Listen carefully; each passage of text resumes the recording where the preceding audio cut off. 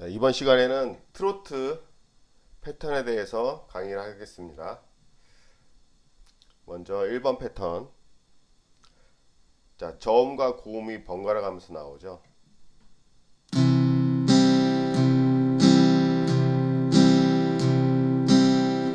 자, 왼쪽에 있는 패턴은 4분의 2박자 형식으로 악보를 그린 거고요. 오른쪽에 있는 패턴은 4분의 4박자 형식으로 악보를 그린 겁니다. 연주는 같습니다. 왼쪽 패턴 같은 경우는 하나 둘 하나 둘.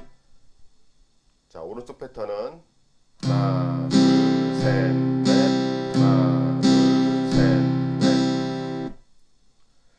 연주상으로는 거의 같지만 박자 세는 방식만 다른 겁니다. 자 지금은 커팅을 적용하지 않고 시범을 보였는데요. 자 커팅을 하지 않고 연주를 하신 다음에 충분히 잘 되시면 커팅을 적용하시고 나서 연습해 보시기 바랍니다. 고음부로 연주할 때는 커팅을 적용하시면 되겠습니다.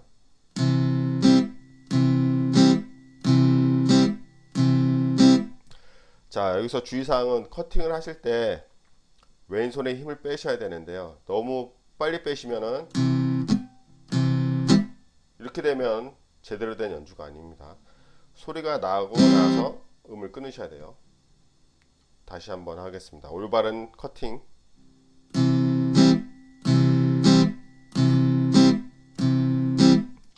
그 다음에 잘못된 커팅.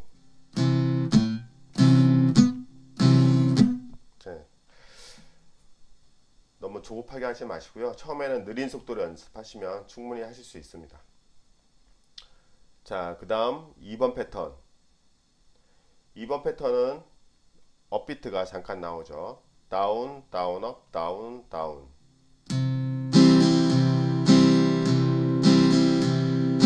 하나, 둘, 하나, 둘. 4분의 4 박자로 하면 하나, 둘, 셋, 넷. 하나, 둘, 셋, 넷. 자, 이것도 커팅이 들어갔을 경우를 해보겠습니다.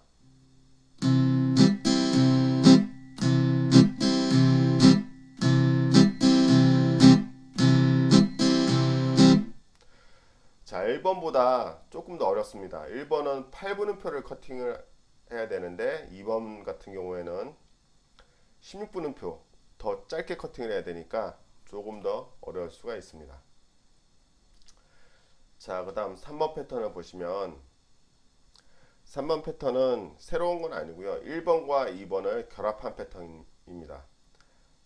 한 마디는 1번 패턴으로 연주하고 두 번째 마디는 2번 패턴으로 연주하고 4분의 4박자도 마찬가지죠.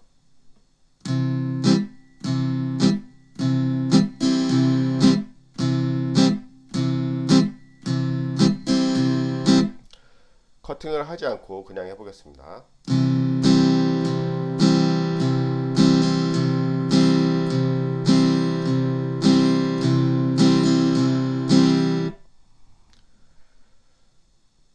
자, 그 다음 4번 패턴. 4번 패턴은 연주상으로는 특별한 건 없고요. 1번 패턴을 두 번 반복하신다고 생각하시면 되겠습니다. 1번 패턴을 두 번 반복하면 4분의 2박자 두 마디가 되는데요. 이거를 그냥 4분의 4박자 악보에 한 번에 그려는 겁니다.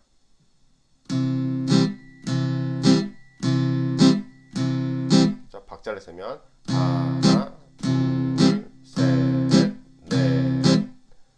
커팅을 하지 않고 하게 되면 하나, 둘, 셋, 넷. 자, 5번 패턴도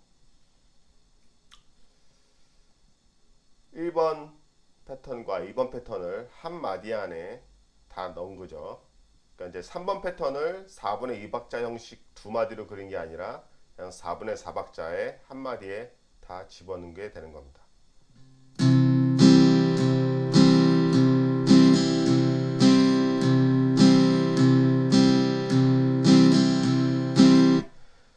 커팅을 적용해서 해보겠습니다.